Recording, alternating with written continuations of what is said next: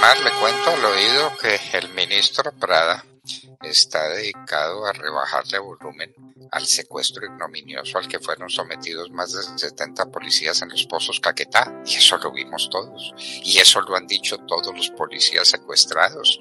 Aquello fue el horror. Estuvieron al borde de que los mataran a todos. No, había que liberarlos.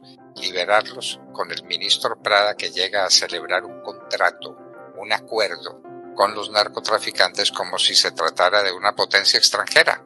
Ya Colombia no celebra tratados internacionales con otras naciones, sino que los celebra con los grupos guerrilleros, con los grupos cocaleros, hay que decirlo con todas las letras, cocaleros, los de la misma coca que ahora defiende también Francia Márquez. Es que eh, si el cambio llegaba para Colombia, llegó en ese sentido. La coca es la que más se protege en Colombia, doctor Fernando, y todo en el marco de lo que ellos llaman eh, el cultivo ancestral, la necesidad de respetar eh, la vida en la naturaleza. Y una cantidad de cosas que no conducen a nada distinto a lamentablemente un exacerbado narcotráfico que día a día es creciente en Colombia, mientras la vicepresidente pide la legalización de la hoja de coca, jugando un poco a confundir la opinión pública no se tiene penalizado el uso, el, uso ancestral de la hoja de coca como la señora Francia, que dicen esa abogada, lo propone. Lo que es claramente tipificado en el Código Penal es, por supuesto, el, el, el, uso y tráfico de porte de estupefacientes. Es una cosa muy distinta, pero pues obviamente para confundir, ellos están en primer orden del día. Eh, respecto a lo de Alfonso Prada, doctor Fernando, yo no sé si Colombia lo olvidó, no lo puede olvidar, y aquí se lo vamos a recordar, qué fue lo que pasó con estos hombres de la policía, 78 de ellos, acorralados por más de 5 mil eh, sujetos, a los que vimos en video recientemente en orden cerrado, haciendo marcha, poniéndose firmes, dando vuelta a la derecha o a la izquierda. Esto es una formación que le digo yo, doctor Fernando, que vengo del campo, y yo no conozco el primer campesino que haga orden cerrado. Esto es una formación militar. Ah, pero por supuesto, es una organización guerrillera, es una organización guerrillera financiada por el narcotráfico. Dígame esos cinco mil, ¿con qué desayunaban, almorzaban y comían? Si no estaban ni explotando la tierra ni desempeñando ninguna tarea productiva, estaban cercando a la policía. ¿Quién los mantenía? ¿O quién los mantiene? Claro, hay ah, una cantidad de dinero para poderlos mantener en la zona y no es cierto lo que dice el, ministro Prada. El ministro Prada sale a justificar de todas las formas posibles lo hecho por esta gente que se hace llamar Guardia Campesina, eh, que llama la atención, todos con, con chaleco y algunos otros con radios de comunicación no, los campesinos no tienen ni chaleco ni radios de comunicación. Los campesinos tienen un asadón, un machete, una pala para sus labores de campo. Esto no, no tiene nada que ver con eso. Tampoco uno ve a los campesinos con la capacidad de tener un camión para echar como reces a, nuestros hombres de la fuerza pública y trasladarlos a otro lugar. Pero además eh, es triste y doloroso ver cómo ante los llamados angustiantes, duros, difíciles de la misma fuerza pública en la zona, simplemente el gobierno guardaba silencio.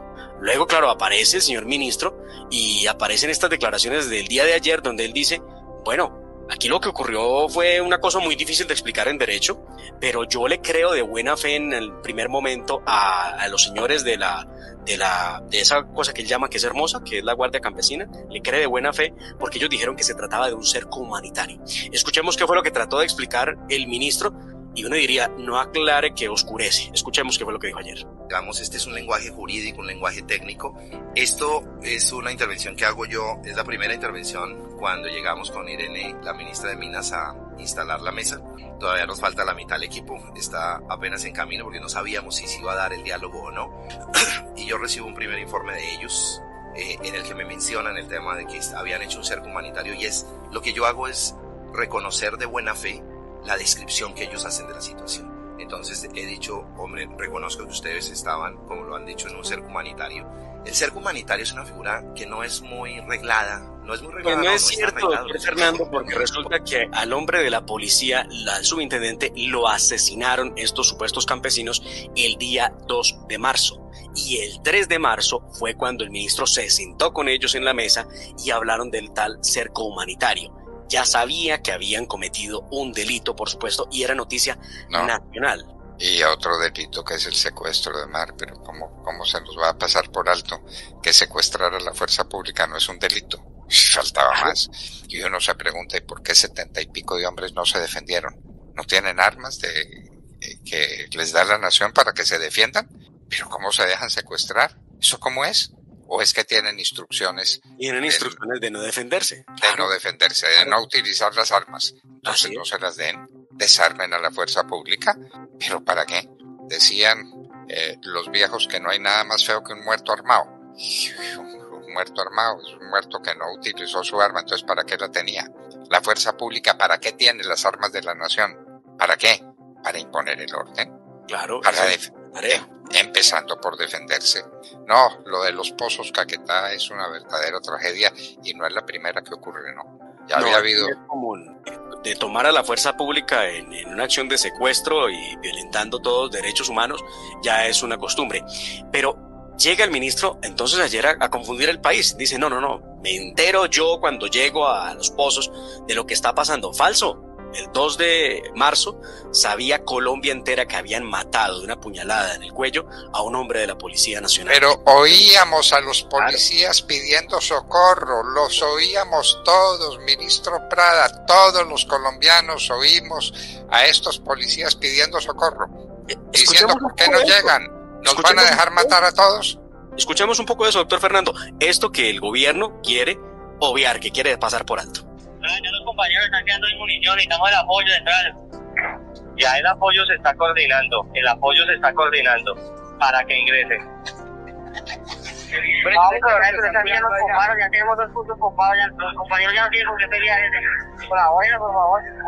Bueno, se usaron, se usaron las armas. No, no, no vale nada, muchas gracias, gracias.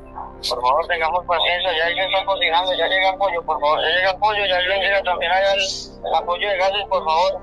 Ya llega apoyo. El apoyo no llegó nada.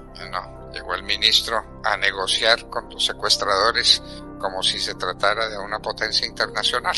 Firmaron un acuerdo que ahí está, lo puede leer cualquiera, puede leer cualquiera. Un acuerdo sencillamente vergonzoso y ridículo. Bueno, muy bien.